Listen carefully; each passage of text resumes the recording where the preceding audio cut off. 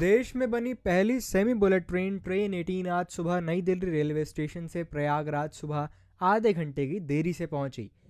खास बात यह रहे कि कानपुर से प्रयागराज तक का करीब 200 किलोमीटर का सफ़र ट्रेन ने महज दो घंटे में तय किया। आपको बता दें कि नई दिल्ली रेलवे स्टेशन से यह ट्रेन शुक्रवार आधी रात करीब बारह बजकर पचपन मिनट पर रवाना हुई थी और शनिवार सुबह पाँच बजकर बयालीस मिनट पर यह ट्रेन कानपुर जंक्शन पर पहुँची थी। यहाँ दो मिनट रुकने के बाद ट्रेन प्रयागराज के लिए रवाना हुई। सुबह करीब सात बजकर अड़तालीस मिनट पर ट्रेन संगम नगरी पहुँच गई। ट्रेन ने करीब छह घंटे तिरपन मिनट में दिल्ली से प्रयागराज तक का सफ़र तय किया, जबकि इसे छह घंटे पच्चीस मिनट में ही प्रयागराज पहुँचना था।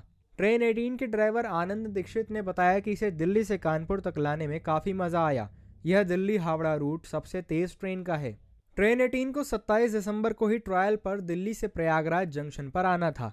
उत्तर मध्य रेलवे ने स्पीड सर्टिफिकेट जारी कर दिया था। उत्तर रेलवे की ओर से जारी की गई सूचना के अनुसार ट्रेन 18 नई दिल्ली स्टेशन से रात बारह बजकर पचपन मिनट पर रवाना हुई, जो कि सुबह पाँच बजकर अठारह मिनट पर कानपुर सेंट्रल पहुँचने वाली थी। लेकिन ट्रेन यहाँ करीब आधे घंटे लेट पहुँची। करीब दो मिनट रुकने के बाद ट्रेन वापस प्रयागराज के लिए रवाना हो गई।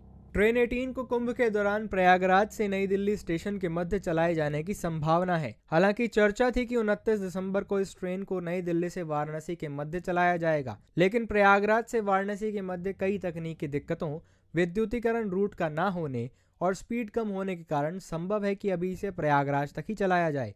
निखिल कुमार, पंजाब केसरी, दिल्ली।